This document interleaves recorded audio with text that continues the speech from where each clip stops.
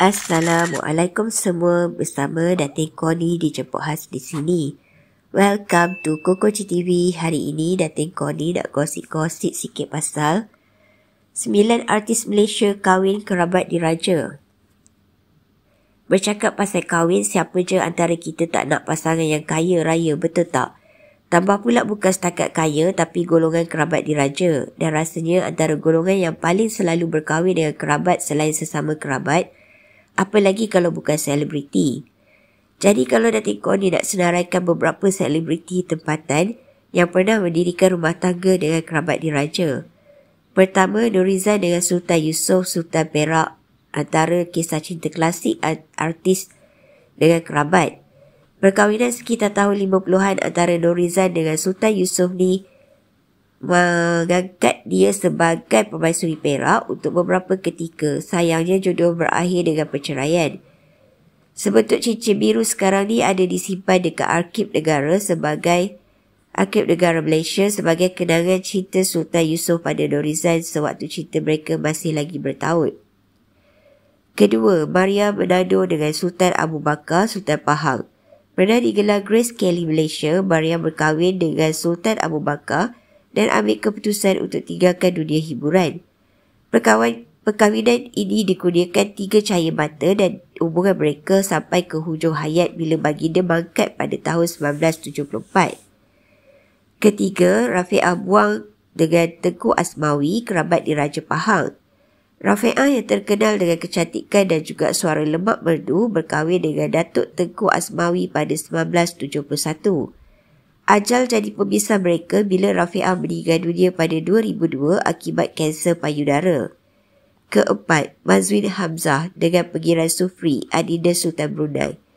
Bekas anggota kumpulan Kinery M yang popular dengan lagu Cinta Palsu ini mengejutkan bukan sahaja Malaysia tapi juga Brunei bila berkahwin dalam satu majlis gila gembilang dekat Istana Brunei yang katanya sampai sekarang diangkat antara majlis paling megah dalam sejarah Brunei.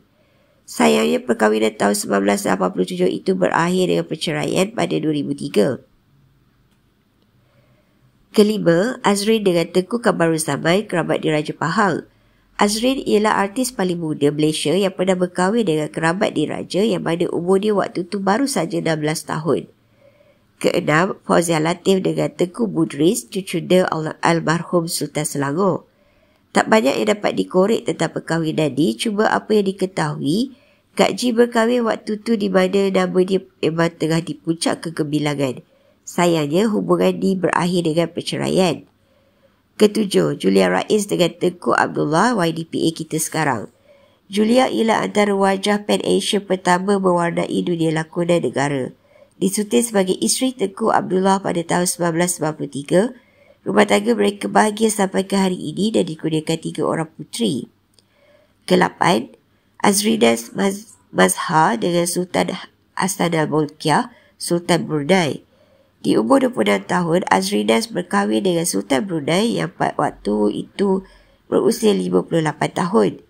Dikurniakan dua cahaya mata, putera Abdul Wakil dengan puteri Amirah Wardatul. Sayangnya rumah tangga mereka berakhir dengan perceraian pada 2010 lepas. Dan terakhir, Emilia Henderson, Henderson dengan Tunku Harun anak saudara Sultan Kedah. Emilia bergelar isteri kepada Tunku Harun pada 14 Ogos 2015. Emilia yang berdarah keturunan India dan Scotland masuk Islam dan memilih nama Putri Nur Emilia. Sayangnya, perkahwinan berakhir dengan perceraian dan bertahan cuma 3 tahun sahaja. Sampai ke hari ini, Emilia dan juga Tunku Harun masing-masing tak berkongsi apa punca cerai dan bila tarikh sebenar bercerai. Jadi itulah dia sembilan selebriti Malaysia yang pernah berkahwin dengan kerabat diraja. Kalau ada antara korang tanah hasrat sama, cuba ukur baju dekat badan sendiri dulu. Tengok rupa paras, boleh lawan artis ke tidak. Ya, kejap-kejap. Nak lihat apa seterusnya? Subscribe dulu, okey? Okey, sedikit ya. Janji-janji. Okey. Satu, dua, tiga. Okey, subscribe. Terima kasih. Dengan sumpahan mulut aku. Cik Kihah nak pesan sikit ni. Rujukan kami ambil ni adalah dari artikel yang dipetik di media hiburan. Hati-hati ya nak pilih kesahihannya.